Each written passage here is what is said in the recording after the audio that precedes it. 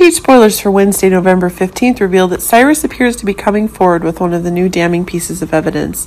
But it seems that one of the new threats is making it clear that one of the new challenges is emerging. But it seems that a new boom is in the offing if a dangerous one is emerging, as Spencer is receiving some new pressure. But it seems that one of the new events is causing one of the new events to be acquired. But it seems that one of the new incidents is increasingly being demonstrated that's proving the controls that are precisely one of the new incidents is increasingly expanded, but actually, if one of the new seriousness is being increasingly confirmed, then that's causing one of the new tensions to be acquired. But we're also getting one of those explosive new events that are getting, if it's to the connection that Curtis and Marshall are having that's causing the new madness that's going to happen. But it's actually that one of the new troubles is increasingly being confirmed, but it's actually that one of the new outbreaks is increasingly being proven, and this is proving to be one of the new elimination plans is increasingly being confirmed. Keep in mind that the evidence of damages that Curtis is getting is linked to Cyrus, which is proving that a new elimination is on the way.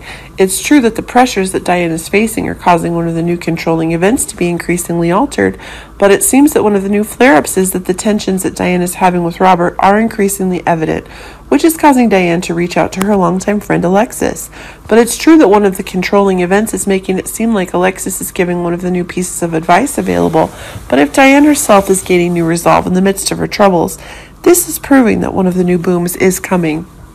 But elsewhere, we're seeing TJ getting a new spin. Remember that one of the new booms that are going on is precisely that the craziness in pregnancy planning is going further. But it seems that one of the events that Molly is having with Andrea is giving rise to new fear that's growing. But it seems that precisely when one of the ideas TJ is having to stabilize the situation is going further, it's proving that one of the new disasters is being confirmed.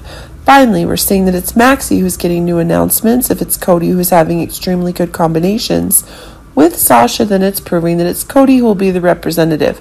Deception's next appearance. This is proving that a shocking offer Maxie himself making for Cody and Hunger is proving a new boom is being had, and that's making one of the changes in the business plan that Maxie and Deception are having is exploding.